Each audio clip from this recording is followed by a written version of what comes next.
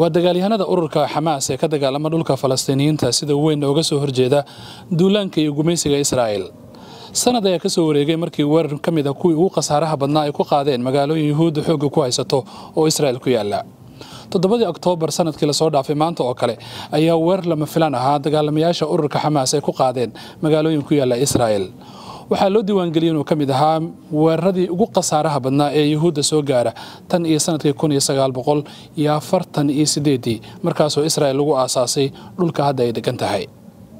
Dagaalyahanada ururka xamaas oo isticmaalayay farsamo iyo xeelado cusub oo ay ka mid yihiin noocyo mootooyin ah oo kor looga soo degayo ayaa waxay weerar ka qaadeen ama ka gudbeen xayndaab israa'iiliintu ay dhisteen. Waxaanay gudaha u galeen magaalooyin israa'el ku yaalla halkaasoo dadna ay ku dileen kuwo kalena ay ku qafaasheen dadka maalintaas dagaalyahanada ururka xamaas ay dileen waxaa tiradooda lagu qiyaasay kun iyo laba boqol oo qof. Halka in ka badan ama in ku dhow saddex boqol oo qofna ay soo qafaasheen. Qaarkood midadkooda ayaa la helay kuwana weli gacanta ay ugu jiraan. Laakiin maxaa ka dhashay?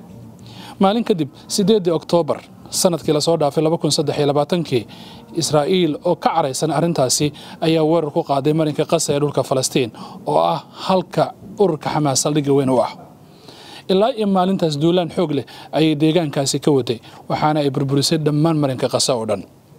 Dadka ku dhintay waxaa lagu sheegaa inay gaarayaan ku dhowaad konton kun oo qof. Tirokoobyada qaar ayaa sheegaya labayo afartan kun oo qof oo shacab ah oo dumar iyo carruur badan inay ku dhinteen duulaanka israa'iil.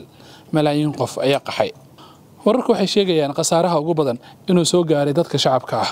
Ilaa iyo hadda lama hayo tirakoob ka dhashay ama laga soo gudbiyey tirada khasaaraha soo gaaray dagaalamayaasha ururka xamaas intii uu socday duulaanka qasa laakiin israa'iiliyiinta naftigooda ciidamo badan ayaa kaga dhintay duulaankaas oo cir bad iyo dhulba isugu jiray. Taangiye ayaa laga gubay.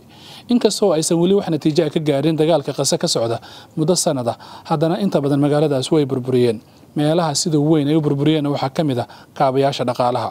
Sidoo kale goobo ay ku sugnaayeen dad rayid ah ayay madaafiic la dhaceen oo ay ka mid yihiin isbitaallo xarumo yaryar oo caafimaad iyo sidoo kale xarumaha waxbarashada iyo goobaha cibaadada oo masaajidadu ay guwan yihiin. Dagaalkan marka hore waxaa la filayay inuu ku ekaado oo keliya marinka qasa dowladaha reer galbeedkana aad ayay arrintan u taageereen inkastoo ay cudud weyn lala garab istaageen israa'el laakiin sanad kadib waxaa muuqanaysaa furimihii dagaalka israa'el inuu hadda ku ballaartay. Lubnaan ayaa hadda dagaal ka socdaa waxaana ay duqaynayaan magaalada caasimadda ah ee beyruud waxaa sidoo kale furin kale kaga furan tahay oo saddexaad waddanka yemen oo ay kula dagaalamayaan ama ay weerar ku qaadeen dagaalamayaasha ururka xuutiyiinta ee yemen ka dagaalama. Israa'iiliyiintu waxa ay sheegayaan in guul weyn ka gaareen dagaalka sanadka socda oo ay dileen hogaamiyihii ururka xamaas ismaaciil haniya isagoo jooga magaalada tehraan ee caasimadda waddanka iiraan sanadkan gudihiisa. Waxaa sidoo kale ay ku guulaysan dilaan hogaamiyihii ururka xisbullah xasan nasrullah toddobaadyo ka hor israa'iil weli dagaalka wuu ku socdaa. Furamaha dagaalkana way ku sii ballaaranayaan. Waxaana muuqanaysaa iiraaniyiintu naftigooda in dagaalka hadda ay ku jiraan.